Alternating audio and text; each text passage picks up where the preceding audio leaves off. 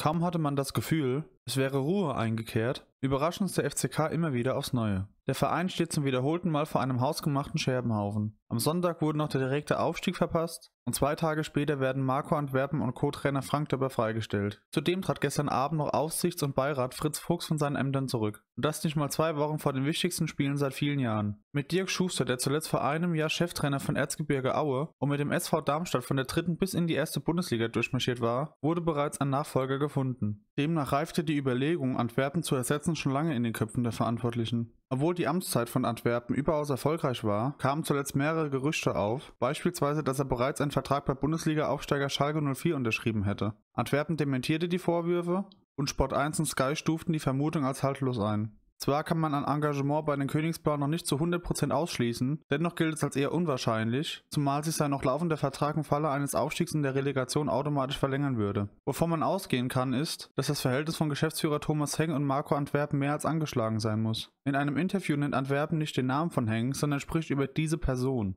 was nach keinem versöhnlichen Abschied klingt. Auch Hengen fand nach der Niederlage gegen Viktoria Köln harte Worte in Richtung der Mannschaft und auch Marco Antwerpen. Gerüchten zufolge soll sein vermeintliches Agreement mit Schalke zur Eskalation geführt haben. Auch über die menschliche Seite Antwerpens wird spekuliert. Es sei als Person untragbar und genieße keine Rückendeckung in der Mannschaft. Spieler Rene Klingenburg sprach sich für seinen Ex-Coach aus und nannte ihn das Herz der Mannschaft. Auch wenn ich den Schritt der Trainerentlassung mehr als bedauere, muss so schnell wie möglich wieder Ruhe in den Verein einkehren, um die Mannschaft optimal auf die anstehenden Relegationspartien gegen die SG Dynamo Dresden vorzubereiten. Denn auch wenn viele Antwerpen mochten oder mögen, es geht nicht nur um eine einzelne Person, sondern um unseren geliebten Verein. Deswegen müssen wir zusammenstehen und in knapp zwei Wochen die Mannschaft und auch Dirk Schuster zum Sieg peitschen. Ansonsten geht das Chaos nach der Relegation von vorne los. Laut der Betze Brenn findet heute um 17.30 Uhr eine Pressekonferenz auf dem Betzenberg statt. Mal schauen, ob und wie sich Thomas Heng zu den Vorkommnissen äußern wird.